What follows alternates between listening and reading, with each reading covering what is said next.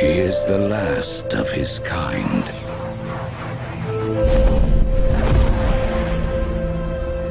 All that remains of a once powerful nation. Some think he is a myth.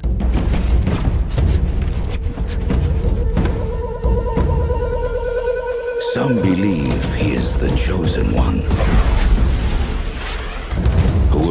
balance to a world at war. And some will stop at nothing to destroy him.